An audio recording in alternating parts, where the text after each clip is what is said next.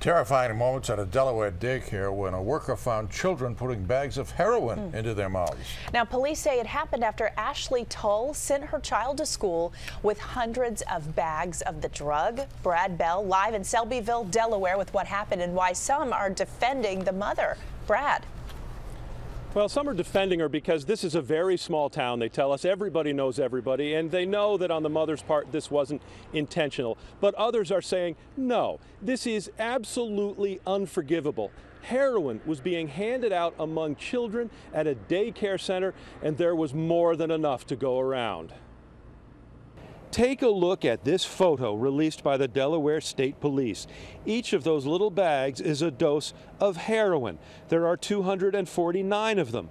That is what the four year old girl carried into this daycare center and started passing out as candy. That could have been a lot of dead kids. John Truitt is a parent. He says what happened at the Hickory Tree Child Care Center is inexcusable. You could have 50 dead kids out here. It could have been that bad because they had enough of it. A teacher spotted what was happening before noon yesterday. Several children mouthing the bags, but none opening. The daycare center owner tells us off camera she is beyond grateful for that. After investigating, police arrested the girl's mother. She is 30 year old Ashley Tull. She and her three children live in this home across the street from the daycare center. The story is that the little girl's regular backpack was ruined by a dog.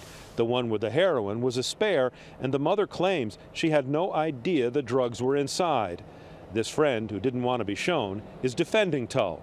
She was a good person. She was a good mother, and this is an incident that happened that she really don't have no. She didn't have no control over at the time. Even so, she's been ordered to stay away from her kids and is charged with child endangerment and maintaining a drug property. I think the parents should be more observant of what is going on with their children. As a parent, I wouldn't imagine how it would be to get a phone call like that. It's, it is heartbreaking.